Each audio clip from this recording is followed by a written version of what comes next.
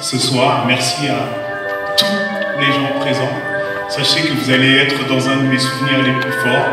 Je vais garder ce moment-là très très longtemps dans ma mémoire, donc merci pour ça. Et voilà, je voulais juste dire que ce film, voilà, il veut dire plein de choses pour moi, mais surtout il illustre un truc qu'on doit se rappeler, c'est qu'on n'a pas la même mémoire, mais on a la même histoire. Voilà. Merci à tous.